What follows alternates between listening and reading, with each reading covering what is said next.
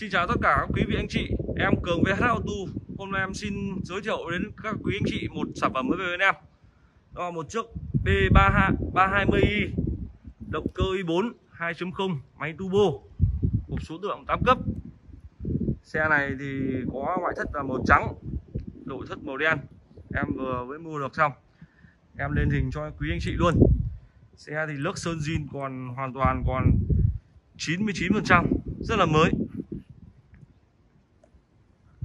Anh chị có thể đi quanh xe một vòng cùng em. Xe rất là đẹp luôn anh chị ạ. Không có điểm gì để chê.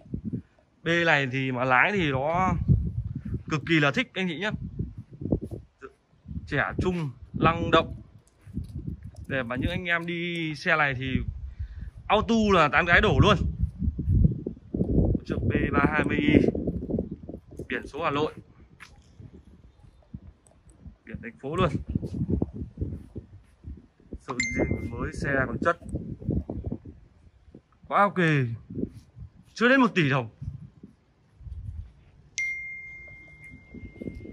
Giờ anh chị cùng em vào khoang nội thất xem ờ, trong xe có cái gì anh chị nhé trước mặt trước mặt quý vị anh chị ờ, đây là trước mắt đập vào mắt đó, đó là ghế chỉnh điện.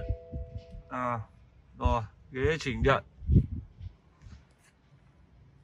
vô lăng còn rất là mới. Ghế da em này thì có 5 chế độ lái. Eco Comfort Sport. Màn hình DVD 6 màn hình 6,5 inch. Vẫn là nói chung là cái điểm trừ của B320i này nó vẫn là cái ờ, phanh tay ờ, kéo nha anh chị nhá nó vẫn là phanh tay kéo. Nói chung là B này thì option thì nó không được nhiều như các dòng xe khác. Nhưng mà đổi lại thì cái cảm giác lái của nó cực kỳ là phê luôn anh chị ạ. Xe nội thất sau. Ghế sau đây anh chị nhá. Còn mới luôn, nhìn rất là mượt luôn. Chất xe rất là tốt. Điều hòa sau. Lái thích?